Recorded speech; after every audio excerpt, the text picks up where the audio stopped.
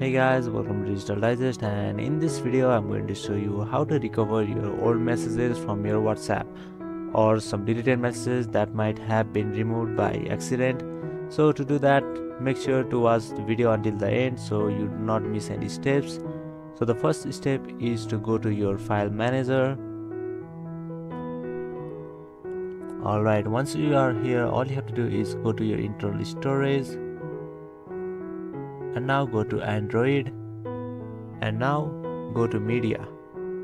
And now find com.whatsapp here you go. Now all you have to do is click over here and click on whatsapp once again. Now all you have to do is click on database and here you can see this is our all deleted message now all you have to do is select this all. And now copy this.